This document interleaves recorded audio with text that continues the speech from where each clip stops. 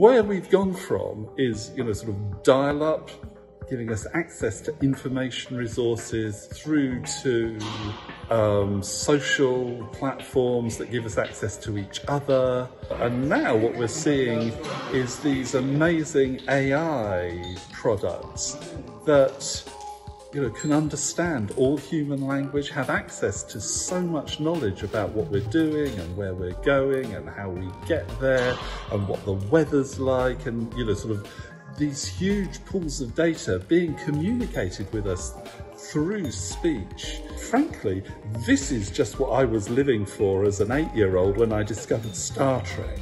You know, and we are living in my Star Trek future now, except that the physicists haven't done their bit in giving us faster than light propulsion. So come on, guys. But we're talking to computers, and I find it you know, sort of where do we think this is going? Instead of treating Alexas like toys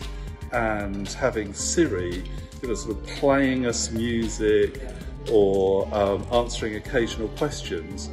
in 20 years' time, we will be treating sort of, uh, these AIs as professional colleagues That they're not just able to do, oh, really interesting things that we thought only humans could do, like recognize things in videos or um, tell us a joke, or it was whatever the skills are that you're, you're asking from Alexa. But they will be